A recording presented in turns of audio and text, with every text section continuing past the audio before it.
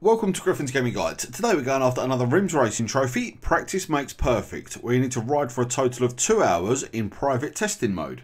If this trophy guide video helps you out, maybe subscribe. Private testing is available from the single player menu and in this mode you can set up the event however you wish. It also has a trophy for riding a total of two hours within this game mode.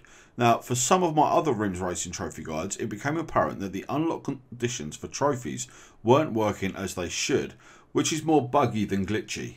Now for me, I completed the two hours of private testing by riding laps over and over and the trophy didn't unlock. Then restarted the game, I entered an online challenge and at the completion of that event while the game was loading back to the main menu, the Practice Makes Perfect trophy then unlocked. So treat this guide as a warning that your trophies may not unlock in private testing, but from working on another game mode.